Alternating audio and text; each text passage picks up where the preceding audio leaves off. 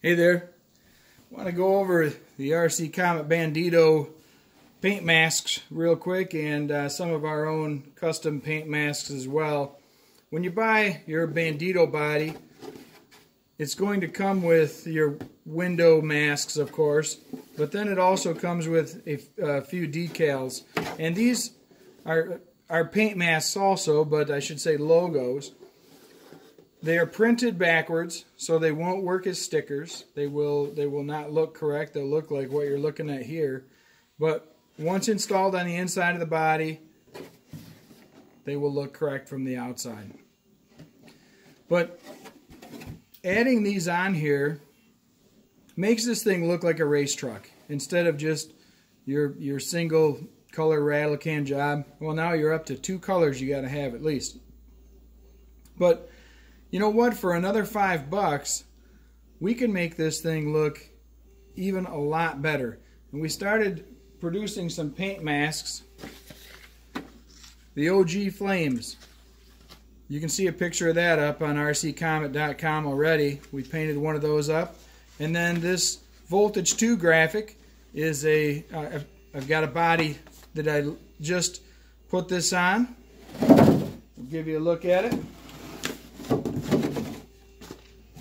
There's what that voltage 2 is going to look like.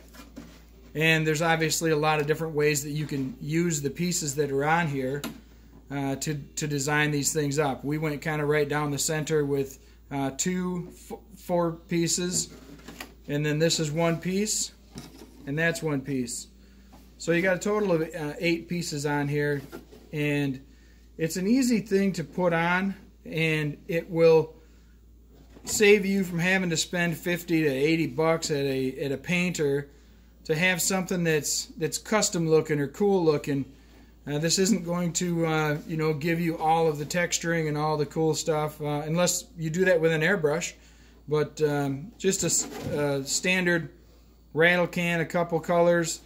Uh, make sure that when you do that though, uh, before you do it, that you run down the edges of everything on here and make sure there are no air gaps along the edges.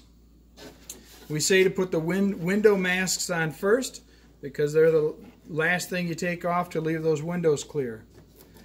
So you don't want to have your um, your graphics running underneath them.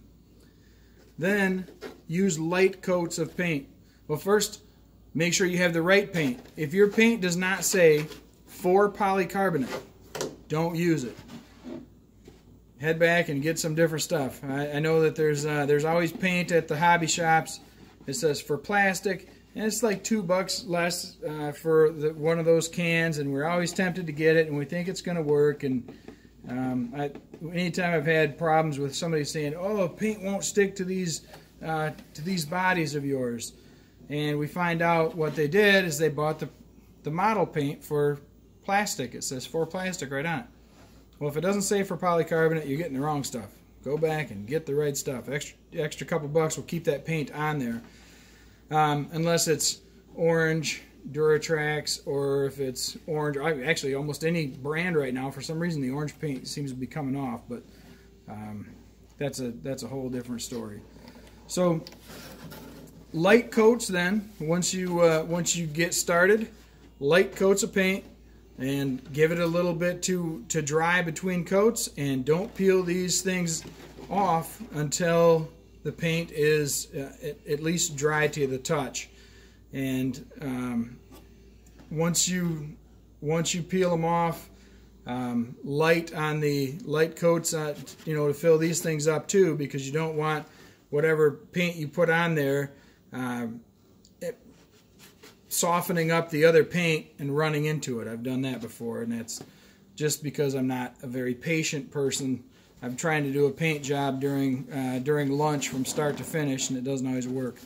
So we'll put a picture of this thing up on uh, on rccomet.com uh, next to the uh, Voltage 2 graphic, and um, it looks a little chunky right here. That's not going to be uh, visible on the vehicle because you're going to cut that out at the uh, at the fender there. But you know what? Save yourself a bunch of time, uh, a bunch of money from having to get a custom paint job, and you can make these things look pretty cool without without a whole lot of problem. Just uh, pick out the graphic you like, get it on there straight, and um, and spray it.